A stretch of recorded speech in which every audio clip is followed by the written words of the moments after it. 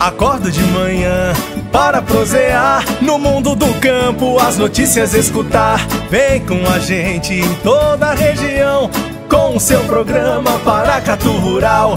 Tem notícias, informação e o mais importante, sua participação. Programa Paracatu Rural. Programa Paracatu Rural.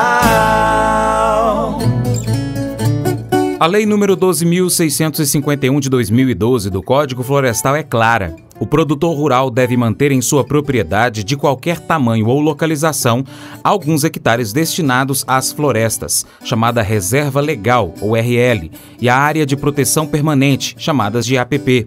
Não é raro que muitas fazendas não cumpram a exigência e outras tenham excedentes e florestas adicionais plantadas e integradas à produção.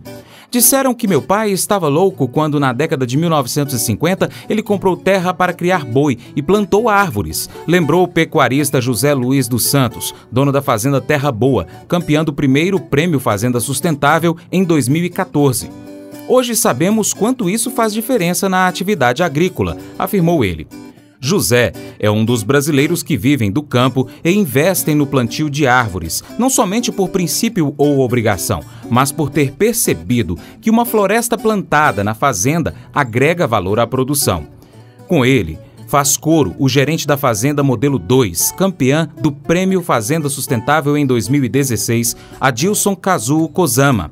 A realidade na fazenda mudou depois que investimos em integração lavoura-pecuária-floresta, contou ele o rebanho ganha peso com facilidade e a madeira produzida é uma atividade econômica complementar de grande valor.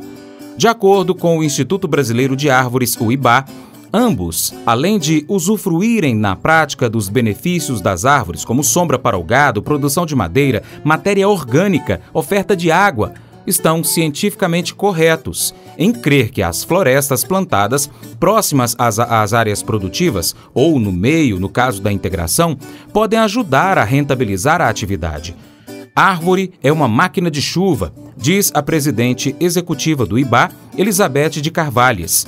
Ah, os índices pluviométricos registrados em fazendas que têm remanescentes florestais são mais elevados. Se tivéssemos mais árvores em áreas urbanas, não haveria nem secas nas cidades. A árvore produz chuva porque age como um evaporador natural. O Tonhão, né, do Movimento Verde, já falou isso aqui no nosso programa.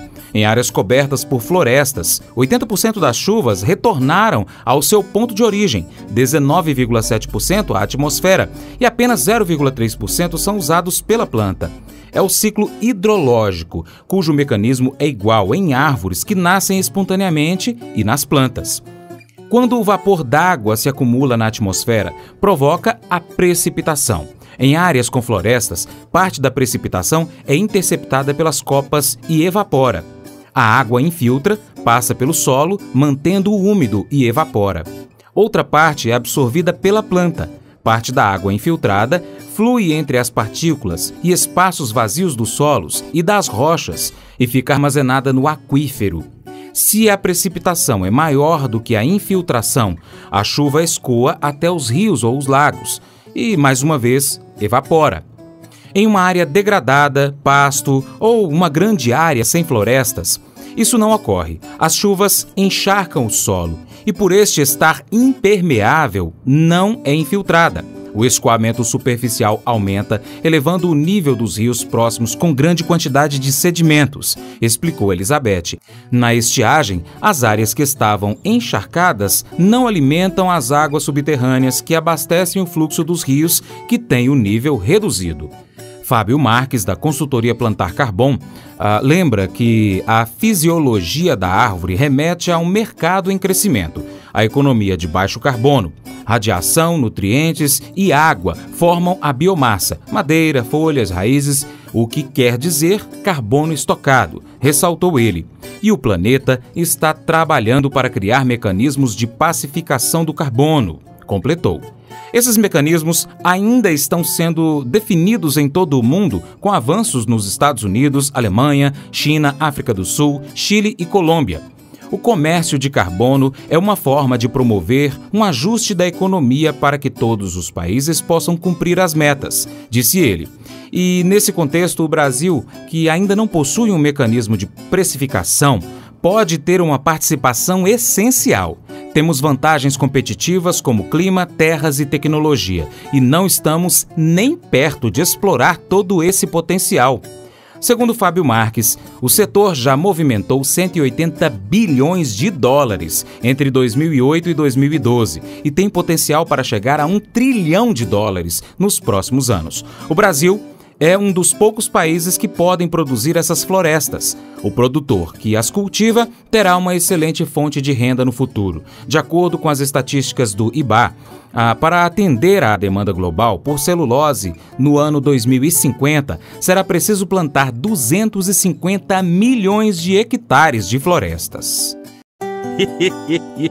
Mas eu vou dizer uma coisa pra você, viu? É, se quiser colocar propaganda sua aqui nesse programa, ó, eu vou dizer um negócio, você vai ter um resultado bom demais, senhor. É isso mesmo, é facinho, facinho, senhor. Você pode entrar em contato com os meninos ligando o telefone deles, é o 38, é o 991810123, bem fácil. É muito bom porque aí a sua empresa vai sair dentro de um programa que é ligado aí ao homem para mulher do campo. É bom ou não é, só?